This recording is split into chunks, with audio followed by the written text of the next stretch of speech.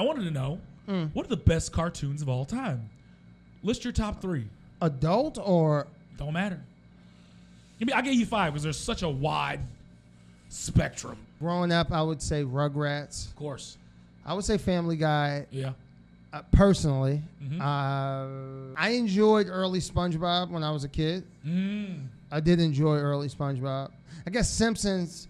You well, you got to put South Park for what it's done historically. Well, that's interesting. Well, So I was looking up like where they're ranked, and one I found this IndieWire article that was it's called IndieWire. So like, boo, because they had BoJack Horseman number one in front of The Simpsons. I think like if you're talking objectively, Simpsons is number one of all time.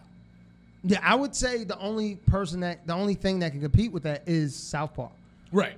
They're, they're they had Daria at number four.